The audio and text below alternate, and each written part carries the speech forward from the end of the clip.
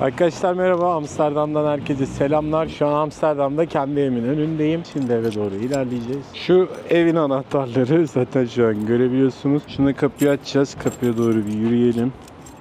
Şöyle tersten. Olmadı bu çünkü. Ters. Şöyle düzelttim. Aynen. Evet böyle kapıyı açtığımızda zınk diye bu görmüş olduğunuz merdivenlere geliyoruz. Merdiven nerede arkadaşlar? Söylemiştim gerçekten bayağı dik şimdi bu merdivenleri çıkacağım. Bayağı dik. Şöyle kendime çevireyim bakayım. Şöyle bakın arkadaşlar. Arkamdaki derinlik bildiğiniz merdivenin dikliği şöyle tutunarak çıkıyorum. Şöyle. Geldik kapıya. Kapı da böyle. Bildiğiniz kapı. Anahtarımızı takalım.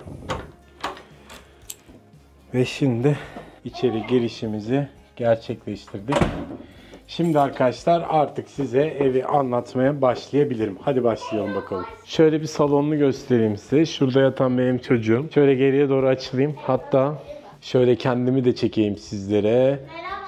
Aynen şu an arkadaşlar evin içindeki ortamımız yani içeri ilk girdiğinizdeki alan böyle. Şimdi muhtemelen hani videodan ötürü böyle çok geniş falan filan gibi görünüyor olabilir. Gerçekten geniş bir alan değil. Hatta size şöyle sayayım. 1, 2, 3, 4, 5 metre genişliği var bizim kale belirleme adımlarıyla. Ama hani buradan bakınca tabii nasıl görünüyor? Bayağı geniş görünüyordur diye düşünüyorum lensin de etkisiyle. Şöyle devam edeyim. Şurada neden burada olduğuna dair hiçbir fikrimin olmadığı bir adet. Normalde şömine olmayan ama bir şömine yeri var. Bir tane ayna var. Şöyle geçeyim karşısına. Bu haneyi başta kaldıralım falan filan diye düşündük ama sonra kaldırmadık. Kaldı yani öyle. Bu evet televizyonumuz. Ev eşyalı bu arada arkadaşlar. Televizyonun markası da LG. Şöyle göstereyim. Netledi mi tam anlayamıyorum. Tamam işte LG olduğu belli oluyor. Şimdi size göstermek istediğim birkaç bir şey var. Onlarla devam edeceğim. Bir dakika. Bu Hollanda'da işte Zigo diye bir internet firması var. Ondan almış olduğumuz modem. İçerideki internet hızımız da 500'e 60 mı öyle bir şey. Tam hatırlamıyorum. Ödediğimiz parada 500'e 60. Tam hatırlayamadım şimdi fiyatını. Bir de bununla birlikte gelen şöyle bir tane şey var. Ee, bizim Türkiye'deki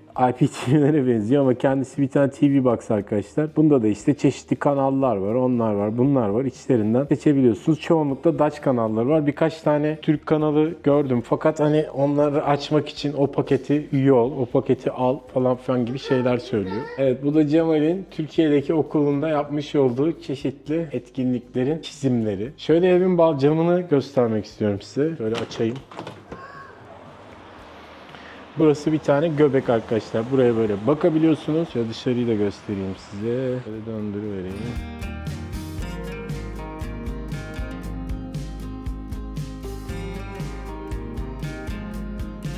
Gördüğünüz gibi burası böyle bir cadde. İşlek oluyor ama mesela şu an Amsterdam standartlarına göre biraz hareketli burası. Şurada insanlar bisikletleriyle gidiyorlar. Bizim Düldül de şurada kaldı, arkada kaldı. Şöyle bir camı bir kapatı vereyim. Bir tane şurada küçük bir balkon var. Şöyle. Hani açmak istemiyorum. Bildiğiniz Fransız balkon var. Açtığınızda bir şey yok yani. Önünde demir var. Neyse biz eve devam edelim. Ha ısıtma. içeride bildiğiniz normal. Türkiye'den de gördüğümüz normal petekler var.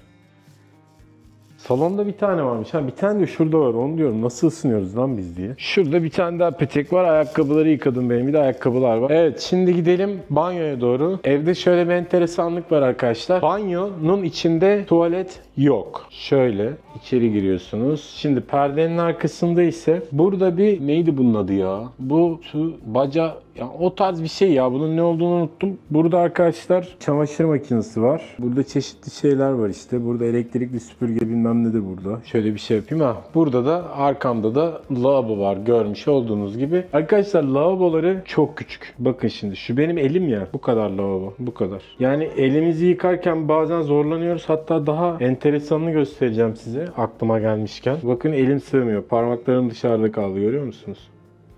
Bak bu kadarcık bir lavabo. Ve hani bu şey değil, özel bir durum değil yani. Bütün Hollanda böyle arkadaşlar. Her yerde lavabolar böyle küçük. Nedenini bilmiyoruz. Geldik mutfağa. Şöyle mutfağı size gösterivereyim. Şöyle yandan. Ev dediğim gibi eşyalıydı. Şurada bir bulaşık makinesi var. Ayrıca Allah çalışıyormuş bilen. Duymadık, anlamadık. Fırın, ocak, bir sürü çekmece var. Şurası dolap. Buzdolabı. Buzdolabını şöyle göstereyim. İşte bu arkadaşlar şey yani normal yok bu bolognese sos. Bu bolognese sos bunu hiç beğenmedik. Tadı çok kötü. Bu normal bildiğiniz bizim ketçap. Bu augurken yani turşu. Limon var şurada. Salça. Şu arkadaşlar bizim bildiğiniz şey Türkiye'deki ton balığının aynısı. Bu zeytinyağlı olan modeli. Bunun fiyatını hatırlamıyorum. Burada portakal suları çok güzel. Bu da bir portakal suyu. İşte burada pilav yapılmış. O var. Yoğurt bildiğiniz yayla yoğurt. Şöyle bir güzellik var arkadaşlar. Böyle salatalar satılıyor burada. Hani alıp dolabınızda birkaç günde muhafaza edebiliyorsunuz. Havuçlar böyle satılıyor. Ondan sonracıma burada bir adet arkadaşlar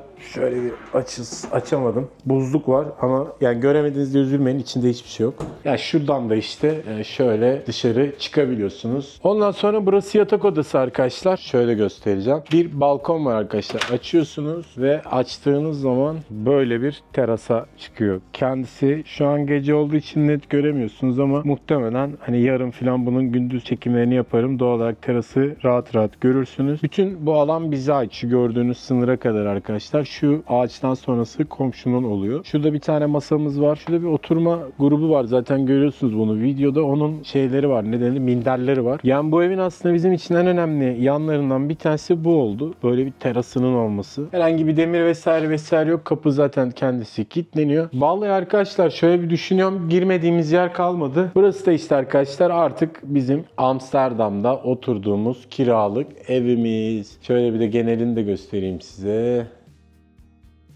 Başka bir yine böyle bir bu tarz videoda görüşürüz arkadaşlar. Hani aklınıza takılan bir şey varsa da yorum bölümüne yazabilirsiniz. Görüşürüz.